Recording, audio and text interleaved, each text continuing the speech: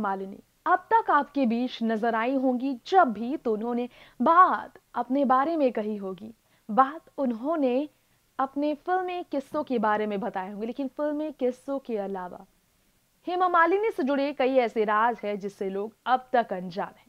छोटी उम्र में ही बॉलीवुड में संघर्ष के दिनों का सामना करने वाली हेमा मालिनी ने बतौर डांसर, आर्टिस्ट के तौर पर अपने ज़िंदगी की करियर में शुरुआत की, लेकिन फिर उन्हें किस तरह अपमान भी सहना पड़ा। इस तरह मुश्किल के दौर हेमा, मालिनी को काफ़ी दर्द दे चुके हैं।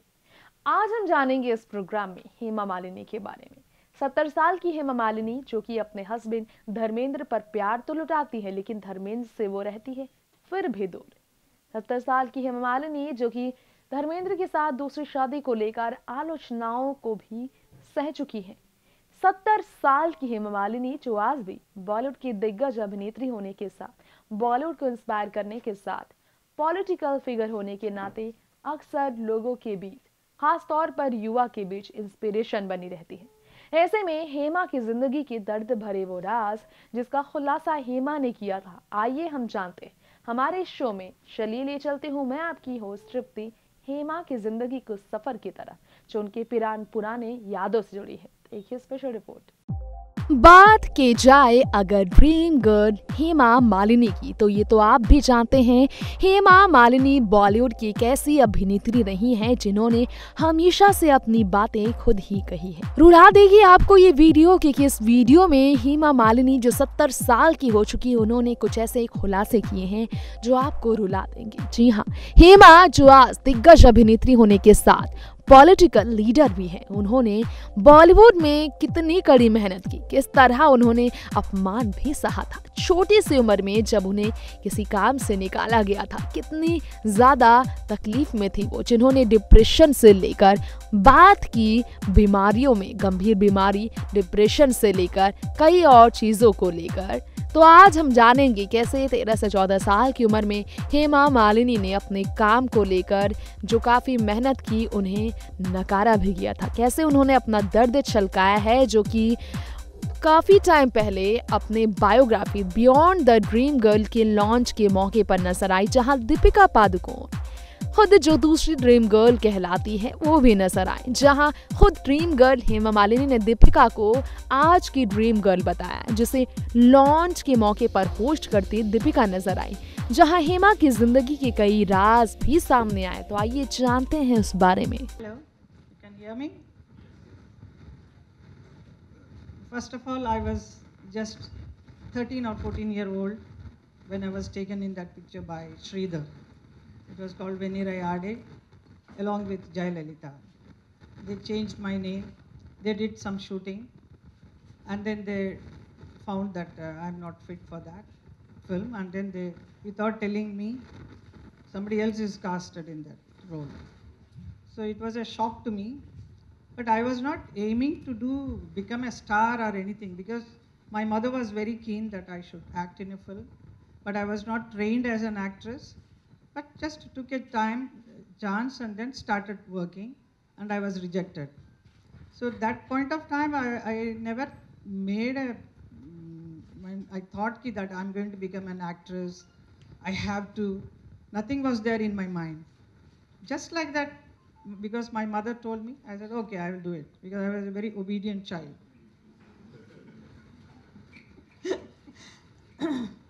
but when I was rejected, that point of time was terrible for me.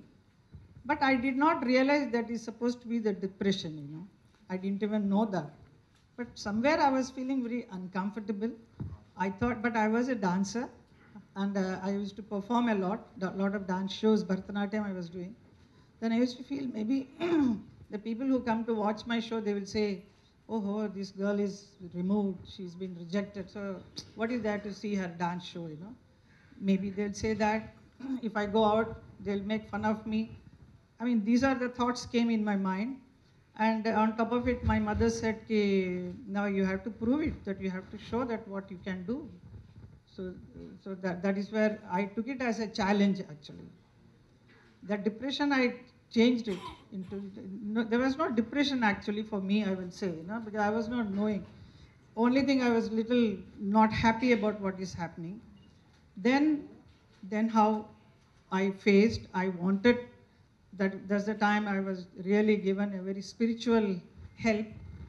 I automatically gained that and then talked to the Lord that you have brought me into this world and it is your duty to see that I do the best. Whatever reason I'm come here, you have made me here, so I have to do that. So सब एक एक किसी मकसद के साथ इस दुनिया में आते हैं तो शायद वो मकसद यही था कि I had to become an actress so that motivated me to take it as a challenge and that's the time I was offered to do Sapnon Ka Saudagar and राज साहब offered me that along with Ananta Swami who was the producer he is the one who gave me dream girl I was introduced as Dream Girl, not Hema Malini. I used to fight with him. My name is Hema Malini. Why don't you announce that? No, no, you're only Dream Girl. Okay, you know. then, uh, then the whole story, you know what happened. I took it as a challenge, and then I said I have to do my best. So the failure actually became the stepping stone for gaining success. I've been watching all Deepika's films. I really love it the way she performs, the way she looks, very beautiful. All your films are really nice, and I can see the hard work, how much you have put in, the everything. And you're really lucky to be working with such a wonderful director like uh, Sanjay Leela Bansali also. And uh, you keep getting one after the other nice roles to play these uh, historical characters is, is really nice. And you have worked uh, in Padmavati and uh, that what Bajirao Mastani with a very big budget, your director is able to get that budget. And I, I also worked in Razia Sultan, which took around seven to eight years to complete because of financial problem. And at the same time, same, same time, I was working in Mira also. That is also again historical background. And that producer also did not have any budget. So we, without any budget, we are doing uh, royal sets and costumes and I can uh, really uh, remember now today that Bhanu Athiya, who was designing my clothes, only one ghagra was made. and उसका ऊपर से कुछ colors change कर करके it used to make make it look like I'm wearing two three different dresses, you know. I must tell Sanjay sir this. Yes, he has to learn this. Budget friendly. and then, uh, at the, and then what about my remuneration. I really played the role of a beggar princess Meera, you know. end of the shooting, so I used to look at the producer's hand. So sometimes one envelope will come, one small envelope. So I used to take it as a real, you know, begging ball. हाँ मुझे मिला, आज का मिल गया। So it use to be just two thousand rupees sometimes वो भी नहीं मिलता था। But I wanted to do that film and we did it and then the producer Gulzar sahab he wanted to create Rajasthan look he wanted many horse ऊँट camel elephant सब चाहिए था उसको। लेकिन प्रोड्यूसर ने बोला आपको एक ही एक घोड़ा मिलेगा। और एक ही एक ऊँट मिलेगा। और उस वक्त वो भी नहीं था कि you know you can multiply by computer graphic कुछ वो भी नहीं था। तो सुना आपने हेमा मालिनी की वो बातें जिससे हमने आपको वाकिफ कराया।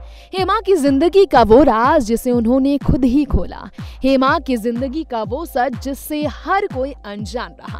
हेमा बचपन से ही संघर्ष करती आई, मेहनत करती आई, शायद यही वजह है कि आज इस उम्र में भी डांस को लेकर हमेशा हेमा की मोहब्बत गहरी देखने को मिली है। सत्तर साल की उम्र में भी हेमा डांस करती है और इसे लेकर आप अक्सर ही तारीफें सुनते होंगे। हेमा मालिनी की डांस की तारीफ़। बीते कुछ समय पहले पॉलिटिकल लीडर सुषमा स्वराज ने भी की थी। हेमा मालिनी, जो कि अपने नृत्य से लोगों का दिल जीतते आई हैं, जिन्होंने डांसिंग की दुनिया में ही पहले कदम रखा। स्टेज डांसर बनने के बाद हेमा मालिनी बॉलीवुड में आई थी। तो इसी तरह से उन्होंने अपनी माँ का साथ पाया और डिप्रेशन से खुद को बचाया था। ये था हेमा मालिनी से जुड़ा वो कार्यक्रम जिसमें हमने आपको हेमा मालिनी के उस इंटरव्यू से वाकिफ कराया, जो कि उनके biography beyond the dream girl से जुड़ा है। ड्रीम गर्ल बनने से पहले और ड्रीम गर्ल बनने तक हेमा ने संघर्ष के दिन कैसे कैसे खुद को स्ट्रांग बनाकर रखा था। डिप्रेशन का भी सामना करते रह गई थी। हेमा और अपनी माँ को लेकर हेमा का क्या कहना था? कैसे उन्हें जब बाहर कर दिया गया था एक डांस शो को लेकर तो वो काफ़ी दुखी थे। ये आपने जाना, इसी के साथ जाना आपने। हेमा मालिनी, जो अक्सर मीडिया के सामने सख्त बिहेवियर को लेकर भी चर्चा में रही है, वो हेमा आखिर क्यों? इस उम्र में भी बॉलीवुड की इंस्पिरेशन है टाइमलेस ब्यूटी जिन्हें कहा जाता है। वो हेमा मालिनी कैसे लोगों के लिए इंस्पिरेशन बन जाती है, ये भी आपने जाना। हेमा जो अपनी दो बेटियों के साथ अपनी ज़िंदगी को आगे की तरफ़ लेकर जा रही हैं। आज भी डांस करने वाली हेमा, जो कि पॉलिटिकल लीडर होने के साथ बॉलीवुड के बड़े फ़िल्मों की रानी रह चुकी हैं अपने ज़माने की। जाना आपने उनके बारे में तो अब दीजिए मुझे इजाज़त। लौटेंगे ऐसे ही बॉलीवुड के सितारों की कहानियों के साथ। तब तक के लिए नमस्कार।